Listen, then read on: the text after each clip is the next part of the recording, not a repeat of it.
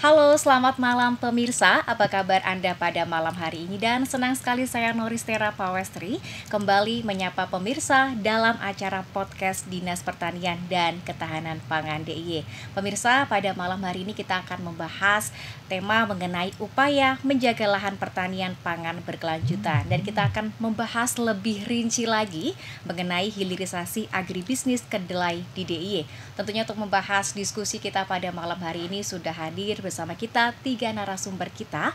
Yang pertama, Bapak Sugeng Purwanto selaku Kepala Dinas Pertanian dan Ketahanan Pangan atau DPKP DIY.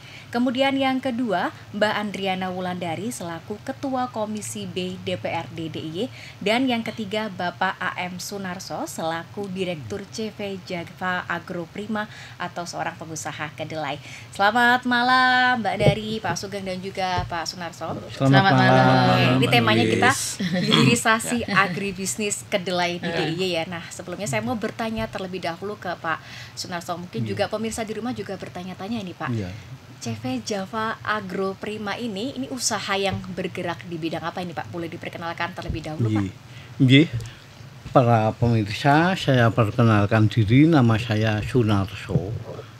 Pimpinan dari CV Java Agro Prima sebagai perusahaan agribisnis yang memilih untuk berkonsentrasi di bidang budidaya produksi kedelai.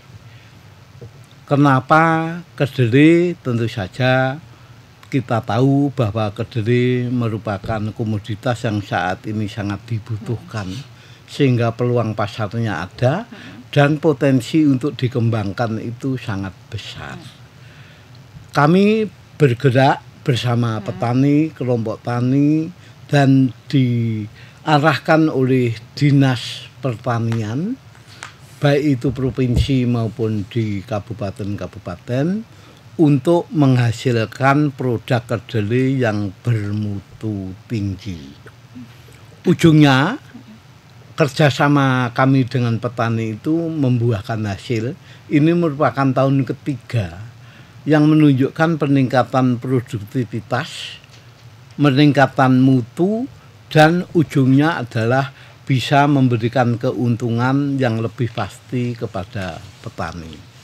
Memang kami memproduksi kedelai sudah juga merintis pasarnya sehingga kami ini sebagai supplier resmi official untuk PT Nestle Indonesia juga kepada Indofood dan juga para mitra kami, para UMKM yang memproduksi tahu tempe.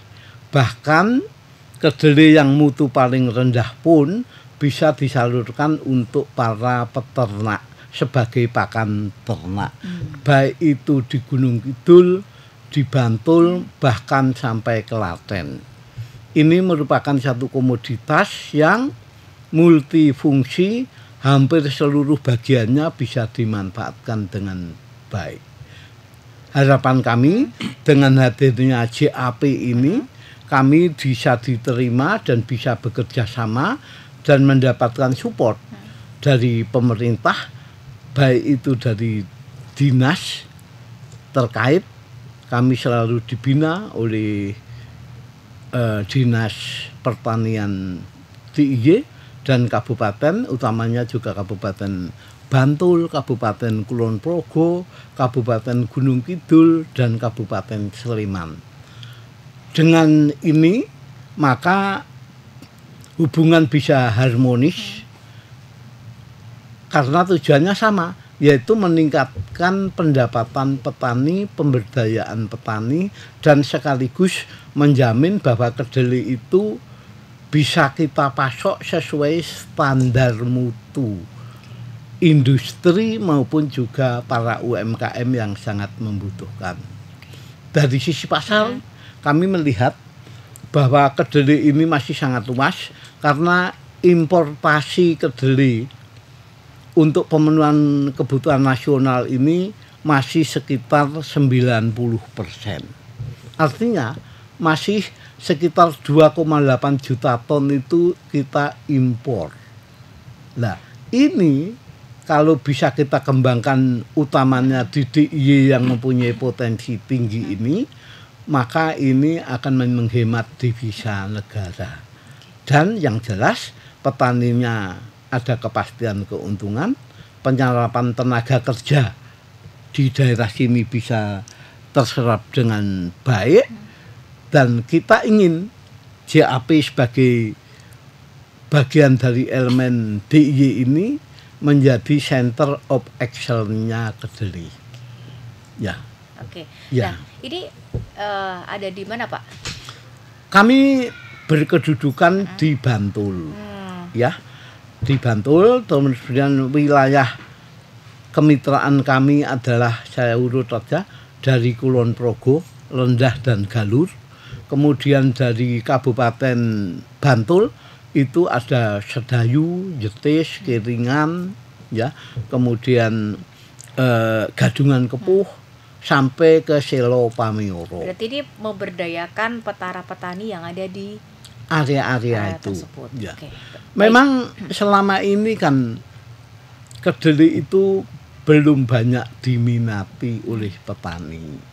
Tetapi dengan hadirnya JAP dengan arahan dari dinas terkait apalagi nanti disupport dari DPRD wah itu Baik. bagus Nanti saya gitu. tanyakan langsung ke Mbak Dari gitu, gitu ya, Pak. Ini para petani akan semangat mbak akan minat sehingga lahan-lahan yang dulunya kurang tergarap dengan baik itu bisa dibudidayakan Dengan baik begitu. dengan bagus sehingga pertanian ini bisa berkelanjutan kelanjutan ini kuncinya kan kalau usaha ini menguntungkan dan petani bisa terus menerus semangat menanam nah semangat menanam ini kan harus diimbangi kalau ada pasarnya Oke. Nah, maka kami berusaha JAP itu menjadi optaker, penjamin pasar dari para petani mitra itu. Oke, baik. Ya. Terima kasih Pak Suroso. Nanti kita sambung. Saya mau Ji. bertanya ke Pak Sugeng terlebih dahulu nih. Nah, Ya. Pak Sugeng, kalau Pak Sugeng melihat ini apa yang dilakukan oleh Java Agroprima dan juga untuk memberdayakan para petani yang ada di sekitarnya tuh bagaimana nih Pak? Kalau Bapak Ya. melihat. Terima kasih Mbak Noris ya, yang Mbak tadi Noris. disampaikan Pak Narso. Pada dasarnya sebenarnya yang dilakukan oleh eh, CV Java Group 5 ini adalah kemudian konteks eh, pemberdayaan daripada petani. Jadi tidak mencari keuntungan pure, tapi justru ada eh, konsep pemberdayaan. Dan konsep pemberdayaan itu dikemas dengan pola kemitraan. Yang pertama, keuntungan dari hadirnya eh, CV JAP. Kalau dulu petani ini kan menanam, ya menanam kedelai, ini mungkin teknologinya juga belum bisa diimplementasikan dengan baik karena tidak adanya pengawalan secara ketat. Dinas mengawal, tapi dinas kan juga punya keterbatasan. Ini yang pertama.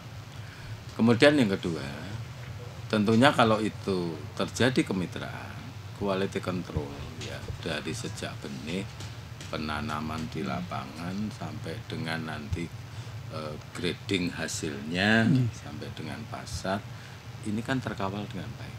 Sehingga kualitas produk atau produksi kedelainya kan bagus. Nah dengan demikian eh, setelah dibina didampingi nanti eh, produknya kan akan dijual juga akan dibeli juga oleh JAP jadi yang ketiga adalah berarti ada jaminan kepastian pasar. Karena begini Mbak Noris yang namanya petani itu yang terpenting adalah produknya itu terbeli dengan dalam tanda kutip harga yang layak. Bukan harga setinggi tingginya kalau harga setinggi tingginya nanti JAP nggak kuat beli. Itu ya benar saya Iya. tapi harga yang layak. Pemahaman harga layak itu apa? Bagi inti ini masih ada keuntungan tapi bagi petani tidak untung atau dibalik petani ya untung pengusaha ini ya ora untung begitu. Nah dibalik harga yang layak itu kemudian ini ada jaminan juga konsumen ini punya kemampuan daya beli untuk membeli kedelai ber, untuk berbagai kepentingan. Ya, untuk industri lanjut industri rumah tangga lanjut tempe tahu misalnya atau eh, langsung dikonsumsi dalam eh, bentuk yang lain misalnya payek kedelai ini kan juga Iya. bisa keripik Nah, kedelai. keripik kedelai juga bisa artinya eh, kemitraan ini justru konteksnya itu adalah win-win solution ya supaya tadi semua yang bergerak di bidang perkedelaian ini ini kemudian juga mendapatkan keuntungan dan eh, usaha kedelai itu bisa sustain. Kenapa dulu petani lesu? Ya karena dulu harga kedelai itu kan hanya per kilo 6.000 misalnya, 4.000, 5.000. Sekarang kan tembus di atas 10.000. Paling min, minim ya Pak Narso ya itu 9.500. Artinya ada margin yang diperoleh oleh petani manakala dia mengusahakan kedelai. Karena sifat petani itu apa ya pola pikir petani itu sederhana mbak Noris kalau dia melakukan kegiatan budidaya dan yang di hasilnya itu nanti menguntungkan. Sebenarnya petani itu juga tidak perlu didorong dorong gitu kan tidak perlu di ini ini akan mereka akan eh, menanam dengan sendirinya. Itu yang pertama. Jadi ada kemitraan ada perbaikan harga. Terus yang ketiga tentunya tadi yang disampaikan Pak Narso ya importasi kedelai itu kan masih jalan terus. Ya, apa pun motivasi dibalik impor itu. Tapi impor itu apakah nggak boleh? Boleh, manakala kebutuhan itu memang kurang. Nah, harapan kami nanti kami kalau petani udah tertarik, obstacle-nya udah siap, kami nanti akan melakukan LTT, luas tambah tanam. Ya, selama ini kedelai ini kan masih ditanam di bekas padi misalnya.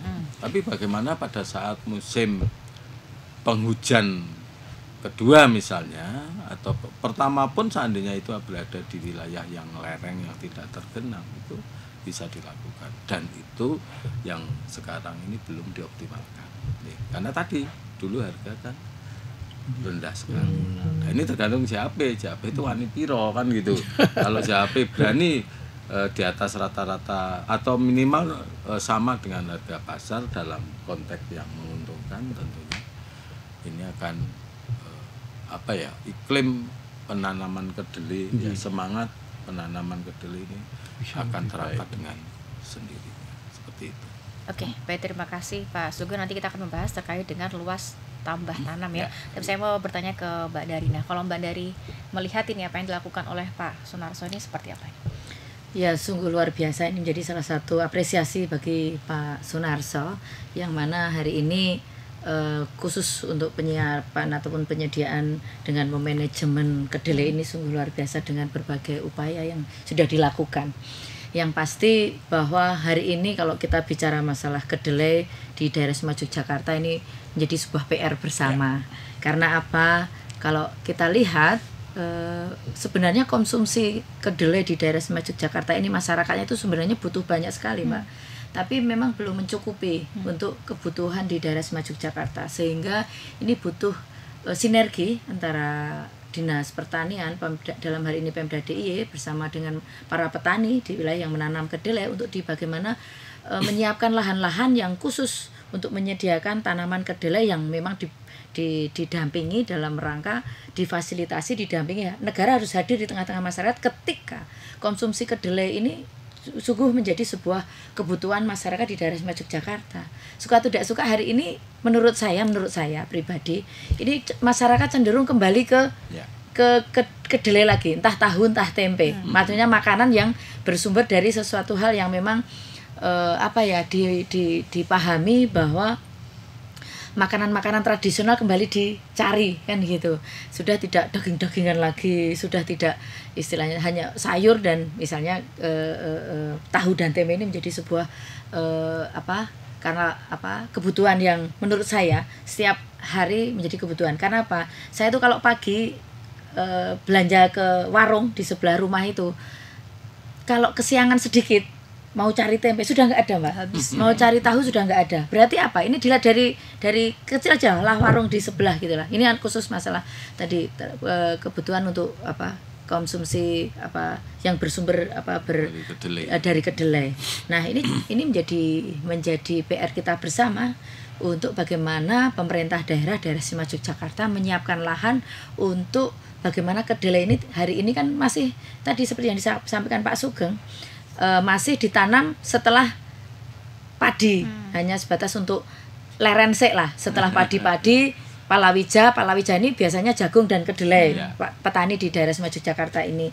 Tapi bagaimana nantinya di, dibuka ruang ataupun dikomunikasikan ataupun di di apa ya dikaji lagi ataupun dicari sebuah lahan yang khusus setiap tahunnya itu selalu menanam kedelai. Sehingga produksi kedelai ini untuk untuk konsumsi apa pun entah tadi susu entah tadi dari untuk tahu tempe ataupun produksi produksi ataupun bahan yang bersumber dari kedelai ini bisa tercukupi di daerah Yogyakarta hari ini kan masih negara negara saja masih impor kan gitu. apalagi provinsi-provinsi yang ada di negara kesatuan Republik Indonesia khususnya di daerah Sema Yogyakarta. Sehingga cukup ketika kita bicara masalah Pak Sunarso yang bagaimana mengelola bagaimana bekerja sama dengan petani-petani saya yakin Pak Sunarso ini masih membutuhkan bahan-bahan kedelai dari petani-petani yang hari ini masih beberapa beberapa petani saja di wilayah kabupaten di kabupaten yang yang punya lahan. Nah ini menjadi bagaimana nanti dinas pertanian Pak Sugeng dalam hal ini atau Pemda dari di, di dinas pertanian ini menyiapkan lahan khusus, menyiapkan lahan khusus walaupun sebenarnya kemarin sudah ya Pak, Ya. sudah disiapkan lahan khusus untuk penanaman kedelai ini, tapi ternyata masih belum mencukupi. Nah ini menjadi tetap nanti dimaksimalkan lah. Di sinilah nanti kita bisa bersinergi, berkomunikasi bagaimana konsum apa eh, kedelai ini bisa disiapkan. Salah satunya adalah bagaimana mensupport di CV Java Argo Prima punyanya Pak Sunarso atau di pelaku-pelaku UMKM yang hari ini juga mulai merambah bagaimana kedelai ini di diolah menjadi tidak hanya tahu dan tempe bisa menjadi nugget atau bisa menjadi apalah makanan-makanan Ya. ataupun tadi kerip Stik tahu tempe eh, gitu stik tahu dan ya. tempe apa itu nah ini kan menjadi sebuah inovasi yang yang hari ini mindset mindset masyarakat hari ini ya menurut saya sudah kembali ke tahu tempe lagi tidak daging-dagingan lagi mungkin takut ya mungkin itu mbak Oke, baik terima kasih Mbak Dari langsung mungkin dijawab dari Pak Sugeng tadi Mbak Dari mengatakan ini eh, perlu menyiapkan lahan khusus untuk kedelai gitu. Ya. Monggo silakan. Ya pemahaman lahan khusus yang disampaikan Mbak Dari itu kan bukan berarti kemudian lahan padi dikhususkan untuk kedelai enggak. Karena dua-duanya nih Mbak Darinya kita punya kesepakatan bahwa pangan dalam tanda kutip beras ditambah palawija itu memang harus tersedia. Tapi Jogja kan eh, lahannya terbatas. Kamila yang beliau ngendikakan itu artinya nanti justru begini. Kita akan mengoptimalkan manakala ada jeda ya jeda antara penanaman padi dengan penanaman horti atau apa eh, setelahnya. Atau justru memang disengaja untuk eh, padi-padi kolonijo ya kan? Nah permasalahannya yang terjadi adalah kemudian yang beliau ngendikakan kita tuh punya PR kebutuhan kedelai kita kan masih jauh panggang jauh. dari api ya. Pemenuhan pemenuhan kebutuhan terhadap kedelai itu jauh panggang dari api. Lah selama ini orang menanam kedelai itu kan bekas padi diponjo dipiuri ditinggal nanti dua Panen. setengah tiga bulan didatangi panen mesti itu tidak akan memberikan profitas yang tinggi ya kan kalau dulu kedelai itu bisa keluar satu ton per hektar satu Iya. setengah malah itu udah luar Sudah biasa luar biasa. sekarang udah masuk Iya. merambah mulai dari dua sampai dua setengah ton per hektar Nah, itu baru dengan misalnya dicangkul yang tadinya langsung dicangkul yang tadinya nggak mupuk isuk dipupuk. Kan seperti itu. Ini bagian dari yang tadi mbak Nadi sampaikan untuk memenuhi kebutuhan eh, biar di dalam kegiatan itu petani itu betul-betul secara kuantitas ini bisa mendapatkan hasil yang Hasil lebih, lebih tapi secara kualitas itu juga harus terjamin.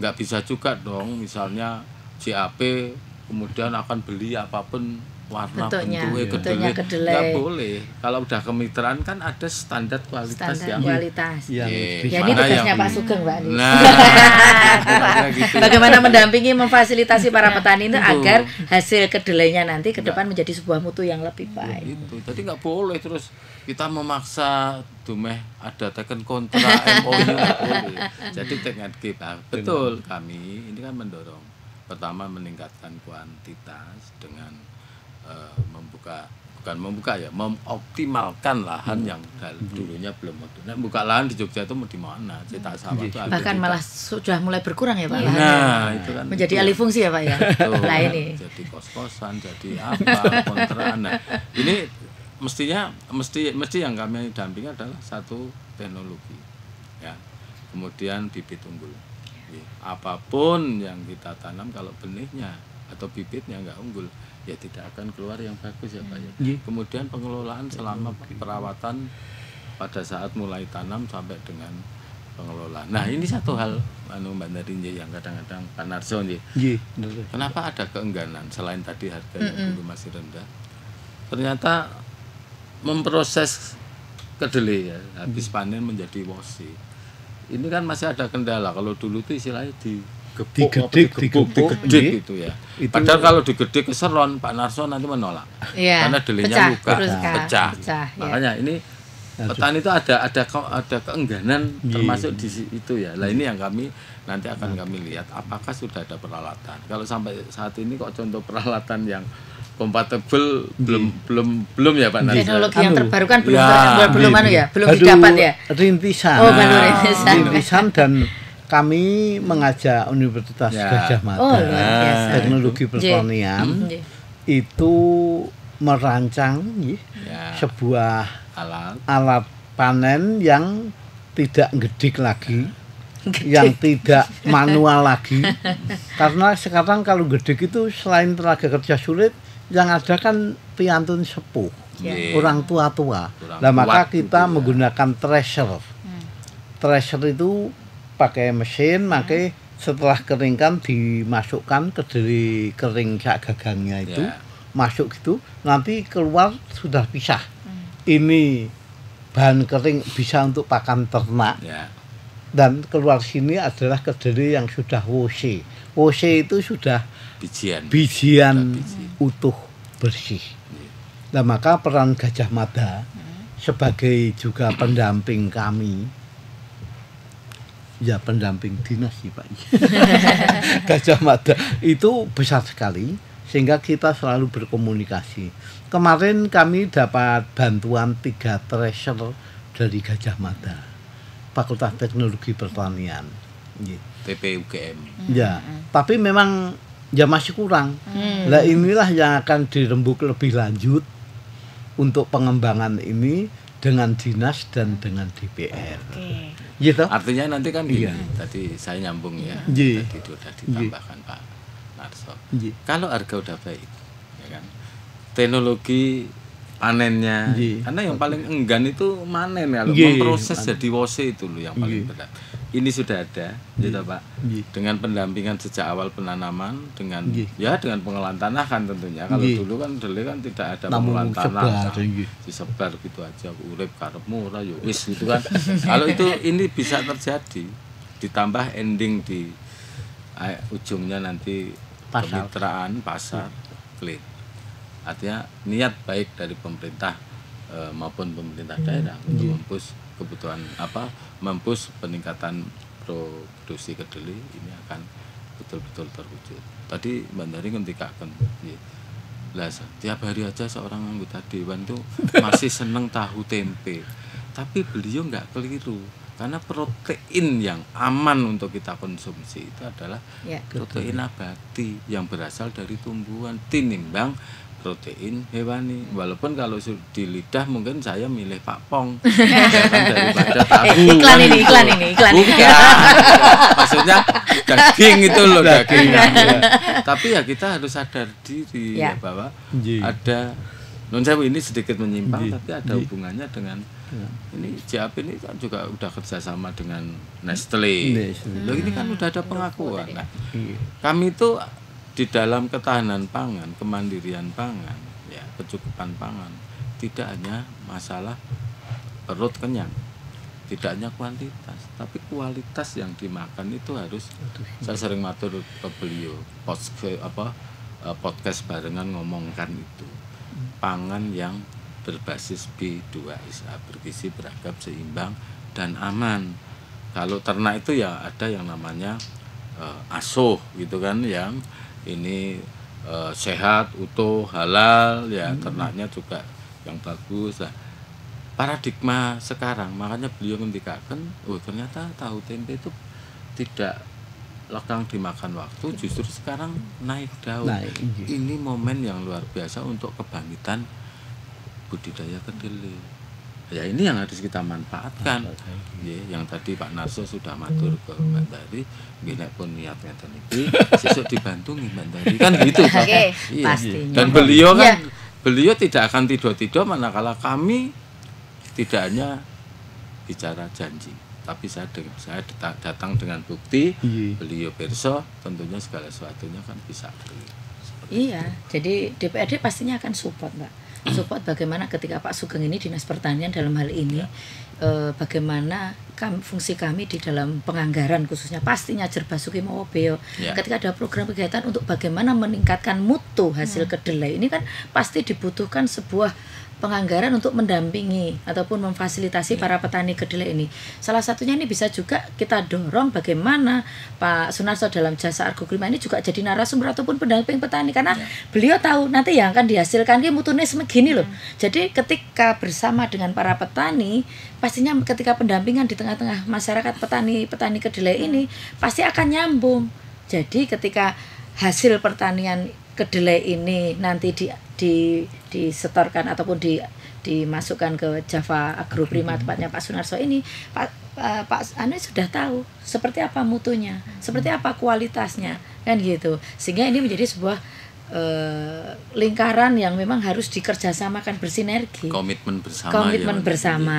Nah, dalam rangka itu tadi disampaikan Pak oleh Pak Sugeng dan Pak Sunarso. Pasti juga salah satunya tergantung dari DPRD. Iya, kami pasti akan support ketika memang eh, apa yang disampaikan apa yang diusulkan bahwa nanti kami kan selalu ujung-ujungnya kalau saya ketika semua program kegiatan dari semua OPD sinergi dari segala macam eh, program kegiatan yang diusulkan yang akan direalisasikan kepada masyarakat ketika muaranya adalah untuk kesejahteraan masyarakat. Kalau dalam hal ini adalah kesejahteraan petani, Tambah. dalam hal ini petani kedelai, pastinya kami akan support luar biasa. Tanpa reserve. Tanpa ya, reserve.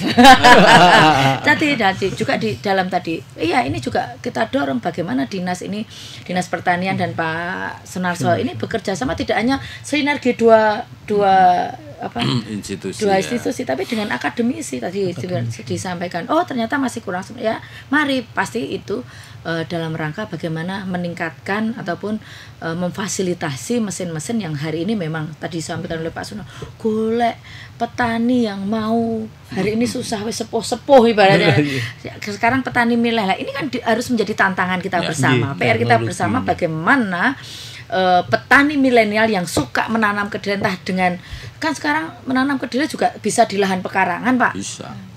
Ya kan? Bisa. kenapa harus di sawah? Ya. itu juga lah sekarang kalau di desa-desa lahan pekarangan masyarakat itu masih luas. Ya. bagaimana kita mewujudkan ketahanan pangan dari kita dorong bagaimana dinas pertanian ini Pak Sugeng ini. Nanti pasti kita akan ber, ber, berdiskusi ini untuk bagaimana ketahanan pangan di daerah Maju Jakarta khususnya. Untuk bagaimana memanfaatkan lahan-lahan pekarangan masyarakat untuk menjadi sebuah uh, lahan yang produktif, hmm. tidak hanya meng di meng bendino meng gelarahan ono sampah di ya. saponi Betul. tapi bagaimana lahan-lahan ini bermanfaat ataupun lahan-lahan di sekitar masyarakat itu didata di list kalau memang ini bisa dimanfaatkan kenapa tidak ini dalam rangka bagaimana kita mendorong untuk bagaimana wujudkan ketahanan pangan ini yang pertama yang kedua pak Mbak Neris jadi hari ini kita kita bicara tentang uh, menjaga lahan pertanian pangan berkelanjutan. Bagaimana tadi uh, petani ini merasa nyaman, aman ketika lahannya dipakai untuk lahan pertanian. Sehingga fasilitas fasilitas fasilitas kepada petani, petani beras ataupun petani atau petani apa pun ini menjadi menjadi apa ya merasa tertarik untuk tetap menjaga lahannya sebagai lahan pertanian. Ora dialih fungsikan hari ini DIY maaf. Hari ini DIY lahan-lahan pertanian banyak yang alih fungsi jadi kos-kosan jadi pertokoan. Ya. lah ini karena apa? Perumahan. hasil pertanian perumahan. Hasil pertanian tidak seimbang dengan apa yang dihasilkan. Jadi wes bertanam bercocok tanam nih hasilnya ora ora Misro. oh, iya. ora Tidak menjamin tidak kebutuhan ekonomi pelakunya, ekonomi, ya, gitu. istilahnya nah ini kan menjadi PR kita bersama bagaimana mencari ataupun kita eh, kita kaji ataupun kita berkomunikasi dengan para para petani di daerah Istimewa Yogyakarta ini selalu berkomunikasi saya do- ini dorong lah pastinya kita DPRD pasti akan support bagaimana ketika ini terwujudnya nanti kesejahteraan petani sehingga petani merasa wah lahanku ora tak alih fungsikan karena apa hasil dari apa yang ku tanam ini lebih dari apa ketika aku alih fungsikan nah ini kan menjadi PR kita bersama lah bagaimana wujudkan itu pastinya butuh Jerbasuki Mawio. Oke kita support karena ini memang jeritan hati masyarakat yang selama ini kami dengar di tengah-tengah warga masyarakat. Gitu, Mbak. Terima kasih Mbak Dari. Saya mau bertanya ke Pak Sunarso. Nah, Iya. untuk sejauh ini Pak, saat ini nih, apa sih Pak yang paling dibutuhkan oleh para petani kedelai ini khususnya Pak? Tapi jangan dijawab terlebih dahulu karena kita akan break setelah yang satu ini. Pemirsa Terima jangan ke mana-mana, kita akan kembali setelah yang satu ini. Terima kasih pemirsa, Anda masih menyaksikan podcast Dinas Pertanian dan Ketahanan Pangan DIY dengan tema hilirisasi agribisnis kedelai di DIY.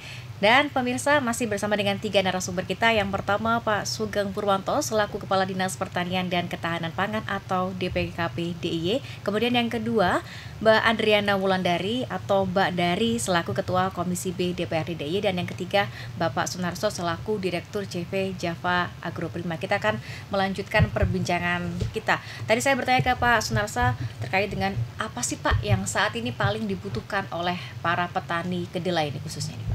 Iya, Silakan. terima kasih Mbak. Pertanyaan ini sekaligus menjadi program inti yang kami lakukan dalam kemitraan. Jadi setelah kita berbincang-bincang lebih mendalam, interview, melihat kenyataan bahwa petani itu yang pertama yang dibutuhkan itu sebetulnya jaminan pasar. Karena kalau memproduksi kedelai itu sudah bertahun-tahun Iya. beliau memproduksi. Oke. Nah, jaminan pasar itu kami memberikan akses itu. Tetapi sekaligus untuk menjamin pasar ini kita harus berkomunikasi tentang mutu yang dibutuhkan. Maka dengan kita mensosialisasikan mutu itu sekaligus menjadi bagian dari edukasi kepada para petani bagaimana sih cara berbudidaya supaya memenuhi standar mutu itu. Nah, dengan demikian sesuatu kewajiban bagi kami yang nantinya menjamin pembelian itu harus disesuaikan dengan mutu kebutuhan, maka bagi kami pendampingan, penyuluhan, teknologi seperti yang dikemukakan Pak Sugeng, Ibu dari sampai harus menjamin keuntungan itu kami lakukan. Sehingga terlihat kebutuhan pertama pasar, yang kedua pendampingan, penyuluhan untuk yakin supaya intensif, supaya untung. Karena apa? Kan banyak alih fungsi lahan. Artinya kita ketahui bahwa sebetulnya lahan itu kan makin sempit. Nah kalau ini tidak digarap secara intensif, kan tidak pasti mendapatkan keuntungan. Nah maka kita penuhi itu. Terus yang ketiga yang dibutuhkan oleh para petani adalah mengenai akses sarana prasarana produksi. Butuh bibit yang mutu bagus, butuh pupuk yang tepat waktu, formula bagus, ya, dan juga zat pengatur tumbuh yang digunakan supaya produksinya bagus. Nah ini kami bersinkronisasi kolaborasi dengan dinas. Karena pemerintah menyediakan benih, pemerintah menyediakan pupuk, ya. Nah, maka ini selalu kita upayakan supaya benihnya itu mutunya bagus dan supaya pupuknya tepat waktu dengan harga yang layak yang ujungnya itu petani itu tidak mendapatkan kepastian keuntungan. Ini yang dibutuhkan. Satu hal besar lagi bahwa kondisi sekarang petani-petani kita itu petani sepuh. Petani yang usianya survei saya menunjukkan rata-rata petani DIY yang terjun langsung ke sawah itu usianya 63 tahun. Artinya ini berarti butuh teknologi yang mengarah kepada efisiensi, teknologi milenial yang bisa menggerakkan para pemuda itu mau terjun ke pertanian. Nah, maka kita arahkan tadi mesin hasil pertanian dilakukan. Ya. Kemudian menyemprot hama penyakit itu sudah tidak lagi menggunakan lama dengan semprotan samping itu, mm-hmm. tapi sudah menggunakan drone. Dan drone ini kan mesti anak muda yang mengendalikan karena membuat sistem dan sebagainya. Nah, dengan demikian kita sekaligus satu kebutuhan petani itu untuk meningkatkan produktivitas dan keuntungan. Yang kedua, ini bagian dari ketahanan dan kedaulatan pangan.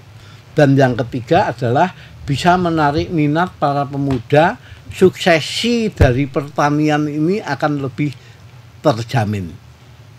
Ngaten Mbak Nuris dan salah satu ide yang ingin kami bangun dan ini juga mohon dari dukungan kita itu ingin menyelenggarakan yang namanya sekolah kedelai Indonesia. Hmm. Seperti apa itu Pak? Sekolah, sekolah kedelai Indonesia. Indonesia ini adalah para pemuda entah itu lulusan SMP, SMA bahkan sarjana pun nanti kita didik di Bantul dengan koordinasi dan pengarahan dari dinas terkait kita ingin menjadikan sekolah vokasi. Sekolah yang betul-betul orientasinya itu praktek kedelai dari hulu hingga hilir. Ya. Sehingga dengan demikian maka ada keahlian para pemuda ini yang dipegang. Kalau itu bisa berjalan, maka Bantul atau DIY akan menjadi sumber tenaga yang mumpuni di dalam perkedelaian. Ya. Kurikulumnya sederhana, 80% praktek di lapangan, di sawah, dan di gudang. 20% teori-teori yang menyangkut mendasari itu. Nah, dengan demikian kalau lulus itu bagi perusahaan kami sederhana kalau lulus ini bisa di mana saja dan itu bisa menggerakkan kedelai. Karena dia tahu dari awal hingga pemasaran hingga mutunya. Bagi yang lulus sendiri akan mudah mencari pekerjaan dan menjadi entrepreneurnya. Ya. Nah, dikembangkan juga menikah Bapak, Ibu. Sekarang ini kita membina di beberapa area untuk KWT kelompok wanita tani itu hilirisasi produk dengan bahan baku kedelai. Kami membina di Selo Pamioro, kita membina di Sabtu Dadi, ya mengenai ibu-ibu kita ajari buat keripik tempe. Kita ajari buat rempeyek tempe, tapi eh, rempeyek kedelai. Keripik tempe, artinya bahan bakunya kedelai. Dengan demikian maka kedelai itu tidak hanya diproduksi dan dijual sebagai kedelai, tetapi sudah hilirisasi. Karena hilirisasi ini merupakan satu proses nilai tambah dari produk. Yang kedua penyerapan tenaga kerja. Dan yang ketiga adalah kesejahteraan dari lingkungan komunitas yang ada. Saya kira ini nanti akan dikenal dream kami, impian kami, DIY sebagai pusat pengembangan kedelai nasional. Saya kira ini akan menjadi kuncoro ya. terkenal terkenal kuncoro ya terkenal. kuncoro itu terkenal, terkenal ya mbak ya okay. ya okay. karena semua memberikan dukungan kepada kita Nah, jadi seperti hari ini saja Bu kami mencoba Pak Ya. kelompok tani dari Kabupaten Pemalang Nggih. datang ke sini. Intinya sekolah kedelai. Hmm. Urutan berikutnya Selasa minggu depan Boyolali. Sekolah kedelai. Berikutnya Ponorogo. Nah, saya kira kalau ini kita lebih fokus nantinya, tentu saja kami akan lebih mengutamakan ya. Karena juga dekat dan kami diberi support oleh DIY, kita memberikan DIY menjadi tempat atau lokasinya edukasi perkedelaian nasional. Ya. Kita harapkan nanti Pemda Lampung, kita harapkan dari Bengkulu ngirimkan PPL atau ngirimkan kelompok tani itu ke Bantul ya bisa berkembang secara jauh. Nah, sehingga nanti semboyan kami adalah kedelai DIY untuk Indonesia dan dunia. Luar baik, terima kasih. Pak Snarso mungkin dari Pak Sugeng mau Ya. menambahkan lagi kedelai DIY untuk Indonesia. Monggo, silahkan. Ya, jadi kembali lagi kita harus apa ya eh, jujur melihat potensi dengan lahan yang sempit, pengurangannya luar biasa. DIY harus menghasilkan sesuatu yang berkualitas. Kita nggak mungkin juga akan selalu bicara kuantitas ya Pak. ya. Iya, iya. Karena Jawa Tengah, Jawa Timur, provinsi lain lahannya masih sangat luar biasa. Makanya kita harus eh, apa ya keluar dengan standar kualitas bukan kuantitas. Jadi DI itu harus memproduksi sesuatu yang beda. Di dalam beda itu berarti masih ada peluang eh, pasar, intervensi pasar. Nah, tadi yang disampaikan Pak Narso, JAP ini mau mengadakan sekolah Kedelai. kedelai. Ya. Jadi ya dinas nanti kembali lagi. Nanti kita akan support, kita akan lihat gitu kan. Jadi terkadang ide itu boleh dari siapa pun. Karena kami juga tentunya punya keterbatasan, tapi manakala ada ide-ide yang eh, pasangan yang so dalam tuh out of the box dan itu memang perlu support dari kami mewakili pemerintah daerah di bidang pertanian. Tentunya ini yang harus kami lakukan. Sekaligus memanfaatkan apa ya famousnya Jogja sebagai kota pendidikan ya Pak Iya, ya. iya. kami kira langkah ini mungkin akan cepat direspon oleh masyarakat secara eh, luas. Jadi seperti itu. Jadi DIY harus bicara kualitas tidak bicara kuantitas Tadi Pak Sugeng juga mengatakan nanti kan akan ada penambahan luas eh, tambah tanam gitu Pak ya. Nah, Hmm, dengan adanya Ya. luas tambah tanam ini ke depan ini harapannya seperti apa itu nanti? Ya, yang pertama saya matur. 2020 dulu ya lahan eh, pengembangan kedelai di Jogja itu hanya sekitar 2000 hektar. Hmm. Tapi di 2023 ini eh, eh, maaf eh, setelah itu itu sekarang ini sudah eh, tambah menjadi 5.900 sekian hampir 6.000 hektar. Ini kan sudah ada peningkatan. Tidak juga manakala kita berapi-api nyuluh, ngajak, dampingi, tapi kembali lagi tadi Pak Narso Iya. sampaikan kepastian pasar, kepastian harga. Jadi kembali ya memang harga itu harus menguntungkan bagi Hmm. petani itu ya jadi kami berusaha ya kualitas yang dikerjasamakan ya Pak Narso. Ya, ini ada standar mutunya.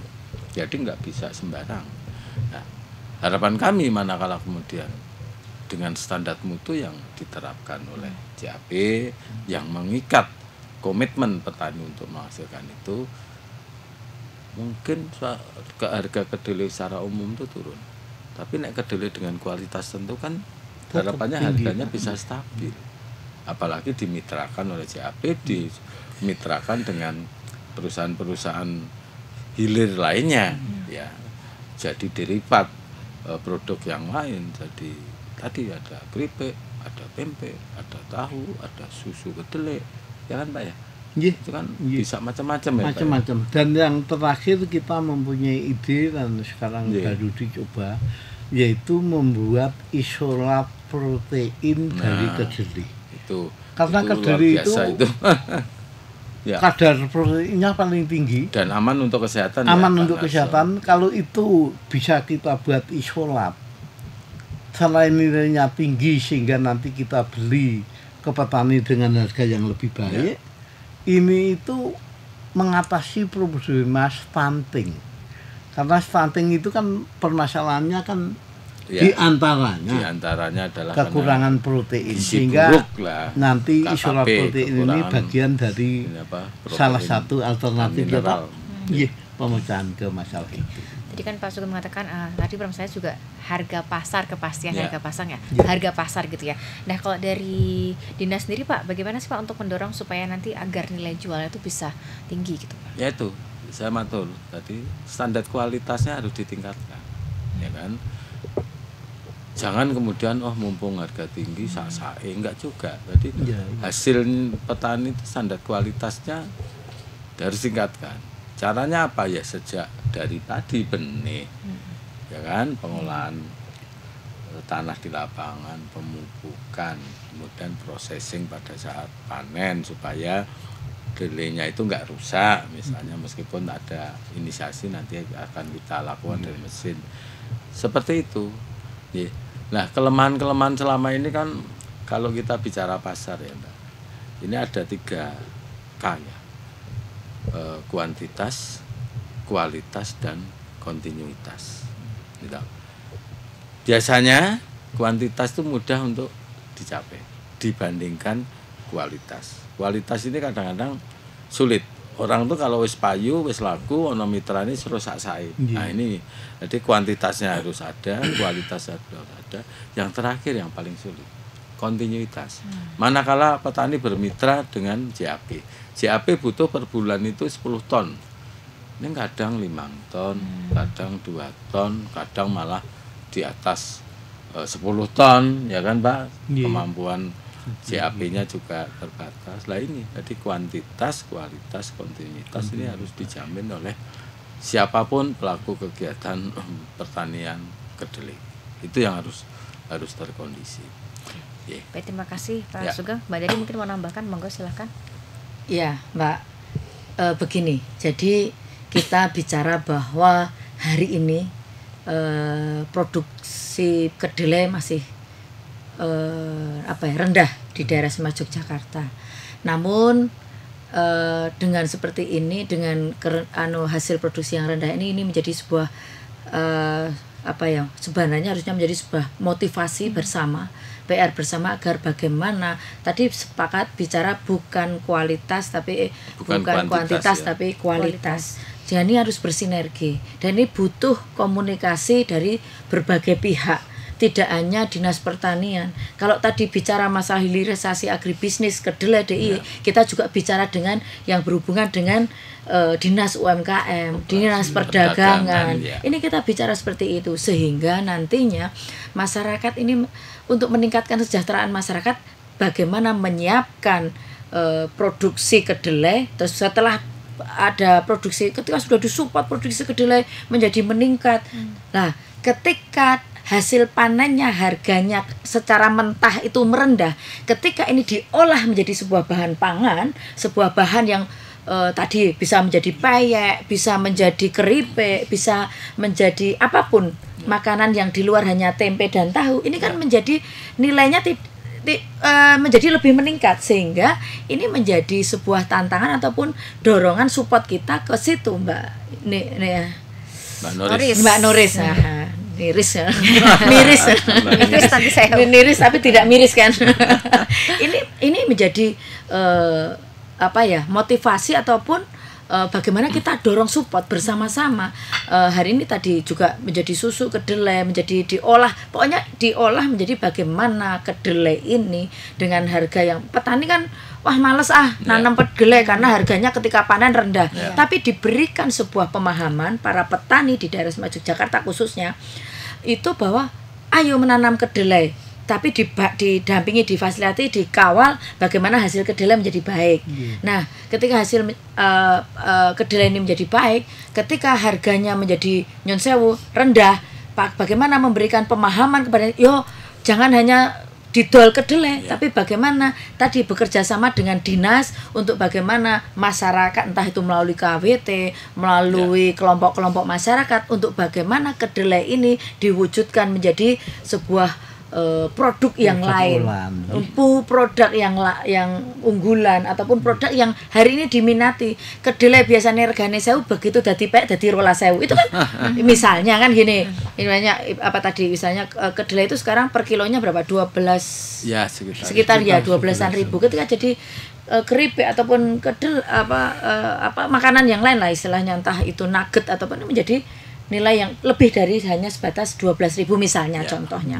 Nah, ini maka e, pastinya ini menjadi PR kita bersama Pak Pak Sugeng ini tidak bisa bekerja bekerja sendiri. ketika kita bicara bagaimana kesejahteraan petani kedelai, bagaimana kesejahteraan masyarakat yang berurusan dengan kedelai, pastinya dibutuhkan sinergi dengan Pak Sa, Pak Narso. Pak Narso dalam rangka bagaimana ikut andil di dalam uh, mendampingi para petani ini untuk juga ikut bersinergi dan juga harus bekerja sama dengan uh, akademisi untuk bagaimana uh, memfasilitasi entah itu melalui tadi teknologi-teknologi yang akhirnya bisa uh, menghasilkan ataupun ketika panen tadi kalau bicara masalah panen iso membuat sebuah mesin-mesin ataupun memberikan uh, apa ya memberikan pemahaman ataupun memberikan bantuan terkait bagaimana secara akademisi uh, uh, eh, apa alat terbarukan yeah. ataupun alat-alat yang bisa me menjadikan uh, kedelai ini menjadi baik hasilnya. Nah setelah itu baru bekerja sama dengan dinas. Terus ketika bicara dengan dinas UMKM, dinas perdagangan pastinya berhubungan juga dengan bagaimana nanti perizinannya, bagaimana HAKI-nya, bagaimana merek dagingnya. Ini akan berkelanjutan dan ini harus bersinergi bersama-sama. Tidak mungkin diselesaikan hanya Pak Sugeng ya. sendiri pasti bersinergi dengan uh, dinas yang lain untuk bagaimana uh, hilirisasi hmm. agribisnis kedelai di DIY ini menjadi sebuah harapan masyarakat untuk menjadi lebih sejahtera, lebih menjanjikan, lebih uh, apa ya hari ini uh, masyarakat lebih ingin ber, ber apa ya berkreasi, berinovasi dengan uh, bahan baku kedelai. Mungkin itu, Mbak. Oke. Okay. terima kasih Mbak Dari. Mungkin Pak Sugeng mau menambahkan sebelum ya, kita tutup. Ini nyambung. Ini mumpung beliau tadi ngendiko menginisiasi mengemotkan nah. kita kan ada istilah zero waste. Yeah. Ya. Jadi jangan sampai ada produk itu yang yeah. kemudian ada sisa sebagai sampah. Iya, betul.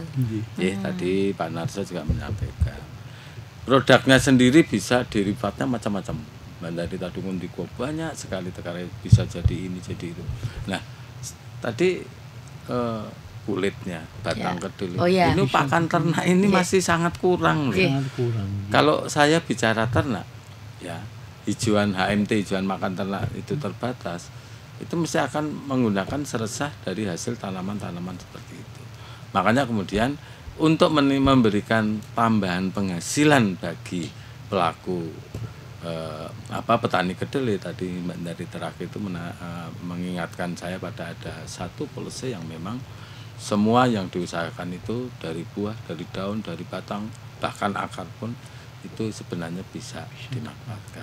Ya, kira-kira itu. Dan pastinya semua itu butuh support ya. dari DPRD dalam hal tadi disampaikan oleh Pak Sunarso terkait bagaimana payung hukum sudah kita hmm. terkait lahan pertanian pangan berkelanjutan ya.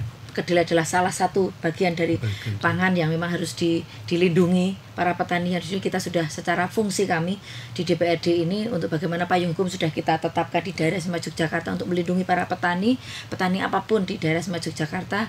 Yang selanjutnya adalah fungsi kami dalam hal penganggaran. Ketika Pak uh, Sugeng ini bicara masalah program kegiatan bagaimana pendampingan terhadap para petani uh, khususnya khusus kedelai dari berbagai program pastinya uh, ketika muaranya adalah untuk kesejahteraan petani khususnya petani kedelai pastinya kita akan support dan ketika sudah ada perda sudah ada anggaran yang akan kita digelontorkan kepada masyarakat ya. pastinya fungsi yang ketiga adalah pengawasan menjadi evaluasi ke depan apakah uh, uh, payung hukum dan anggaran ini benar-benar menyentuh dan benar-benar mensejahterakan masyarakat. Pastinya ini butuh semua sinergi dari berbagai pihak untuk mewujudkan itu. Dan pastinya sekali lagi DPRD akan support DPRD mengapresiasi salah satunya pihaknya Pak Sunya uh, dari Java Argo Prima yang selama ini tetap fokus dalam bagaimana mengembangkan khususnya di Kedelai. Dan semoga ada Pak Sunarso Pak Sunarso yang, yang lain, lain. di daerah Istimewa Yogyakarta ini sehingga para petani uh, kedelai punya jaminan, uh, punya jaminan pasarnya. Sehingga nantinya pastinya uh, uh, kita lebih akan uh, apa ya istilahnya mensupport lebih di dalam bagaimana para petani ini menjadi sejahtera. Makatan Pak. Baik, terima kasih Mbak Dari, Pak Sugeng, terima kasih juga Pak Sunarso sudah hadir pada malam hari ini. Terima kasih juga untuk pemirsa yang telah menyaksikan acara pada podcast pada hari ini. Saya Noris, Mbak Dari, Pak Sugeng dan juga Pak Sunarso yang hadir pada malam hari ini mohon pamit undur diri. Terima kasih dan sampai jumpa.